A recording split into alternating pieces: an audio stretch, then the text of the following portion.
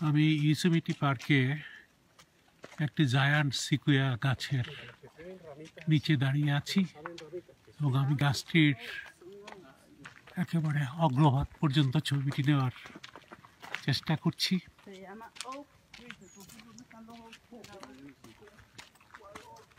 এটাকে জায়ান্ট সিকুয়া বলা হয় এই ইসিবিটি পার্কে এরকম কয়েকটি গাছ আছে আমি যে গাছটির নিচে দাঁড়িয়ে, এই গাছটি একটি ছোট ধরনের গাছ।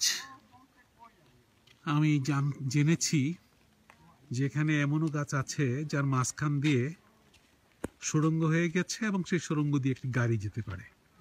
মোটামুটি একটা হিস্ট্রিতে লেখা আছে, এখানে পেলাম যে একটা সিকোয়া গাছ প্রায় তিন হাজার বছর পর্যন্ত এখনও বেঁচে আছে।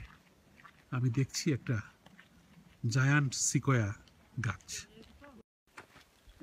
আমি দেখতে পাচ্ছি আরেকটি মৃত সিকোয়া গাছের একটা ভগ্নাংশ।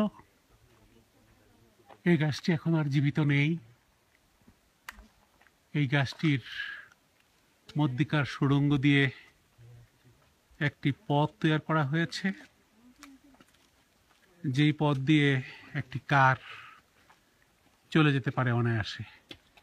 আমি এরকম একটা জায়ান্ট সিকোয়া গাছের ধ্বংসাবশেষ দেখতে পাচ্ছি। এর আগে আমি একটি জীবন্ত ছিকোয়া দেখিয়েছি, এখন একটি মৃত ছিকোয়া গাছের অবয়বটা দেখানোর চেষ্টা করলাম।